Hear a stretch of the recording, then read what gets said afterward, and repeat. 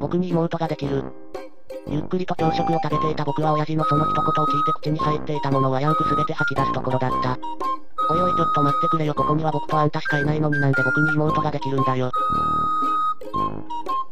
僕の名前は雪のり。今は親父と二人暮らしをしている普通の高校生だ。僕の母親は僕が小学生の時に癌で死んでしまったので、それ以降ずっと親父と二人で暮らしている。僕は早く再婚したらいいんじゃないのかと思って何回か親父に尋ねてみたのだが、いつも、まあそのうちいい人と会えたらな。と言って話をそらしてくるので全然話は進まずに今現在に至っていた。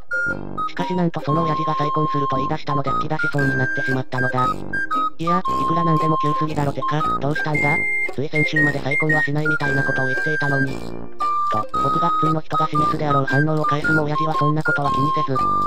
まあそれは先週までのことでこれは今週のことだ。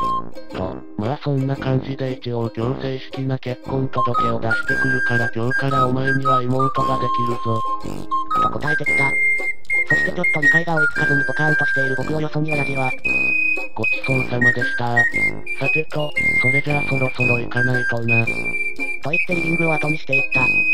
母がいないのでご飯はいつも僕が作っているからいつもならお粗末様でした。というのだが今日は何も返せなかった。そしてしばらく経ってからやっと理解が追いつき。で、え今日結婚届を出すの？と、驚いて親父に聞こうとしたのだが時すでに遅し、親父はもうすでに準備を済ませてたった今家を出たところだった。それを見て僕は諦めのため息をつきながら、えー、マジかよいつもは行動がめっちゃゆっくりなのになんでこういう日に限ってこんなに早いんだよ。とつぶやいて朝食を再び食べ始めるのであった。そうして朝食を食べ終わった僕は食器を片付けると自分の部屋へと向かった。そして僕はスマホを開くとネットで知り合った霊夢に Discord でメッセージを送った。なんか僕の親父が再婚するらしいんだよね今日聞かされたんだけど相手はどんな人なんだろう。と、するとすぐに、私のお母さんもなんか今日再婚するみたいなこと言ってたわ。という返信が返ってきた。僕は、そうなんだ、相手がいい人だといいね、と書いて送ると今度は親父に終わったら連絡をくれ。という旨のメールを送り、まあどうせ時間もかかるんだろうしちょっとの間ゲームでもしてようかな。と言ってパソコンの電源をつけるのだった。そうしてゲームをすること約2時間。そろそろゲームのしすぎで疲れてきた僕が休もうと思ってトイレに行こうと思ったその時僕の携帯が鳴った。携帯を見ると親父からの電話だったので僕は、ああ、終わったのかなと言って電話に出た。もしもし、電話をかけてくるってことはもう終わったのか？と僕が尋ねると親父は、ああ、終わったよ。だからこれから家の片付けをしないといけないからやっといてくれないか？と返してきたので僕は、わかった、それじゃあまた。と言って電話を切った。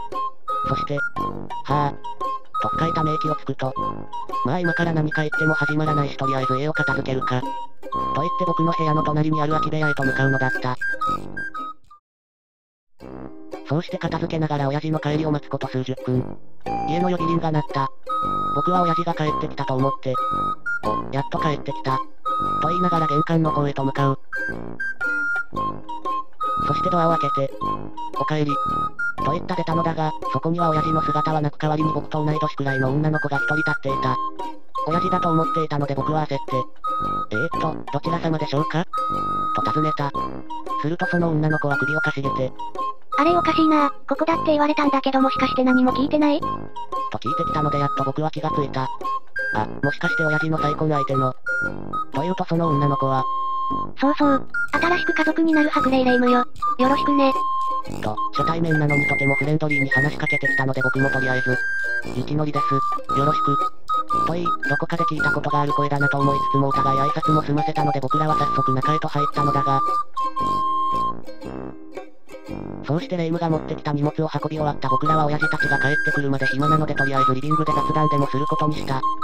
そうしてしばらく雑談をした頃、僕は霊夢に気になっていたことを聞いてみた。あれ、違ったら悪いんだけどもしかして霊夢って Discord やってると、すると霊夢は、うん。霊夢って名前でやってるよ。と答えてきたのでもしかしたらと思い、僕はスマホを開いてその画面を霊夢に見せた。するとその画面を見た霊夢は目を見開いて一言、まさか雪のりってあの Discord のと驚きの声を上げた。僕もマジかよと思いつつ話しているとすぐに霊夢と仲良くなれた。そうして雑談していると僕のスマホにメールが来た。なんだろうと思い開いてみるとそこには、俺と母さんはこれから新婚旅行に世界一周に行ってくるからしばらくの間は二人で暮らしてくれ。と書いてあった。